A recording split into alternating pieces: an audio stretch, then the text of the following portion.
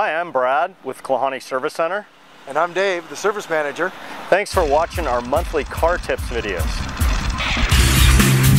Quick, as you're driving down the street, a ball rolls out in front of your car.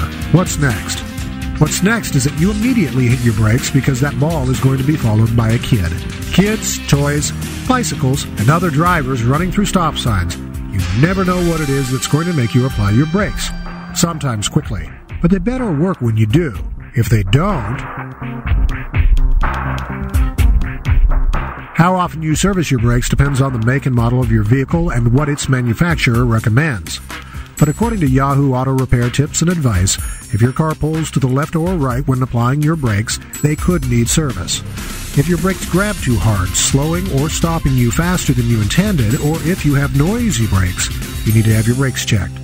Also, if you have a low, soft, or vibrating brake pedal, you should have your brakes looked at. And did you know that the larger vehicles are prone to need service more frequently than smaller vehicles? It just makes sense. The heavier trucks need more pressure and friction to bring them to a stop than does a smaller compact car.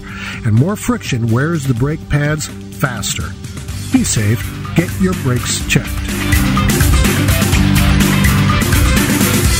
We have 100 years of combined experience with six ASE Master Certified technicians. We're family owned and operated. We specialize in domestic, Asian, and European vehicles diagnosis, repair, and maintenance. We're right here on Klahanie Drive in Issaquah in the QFC Shopping Center.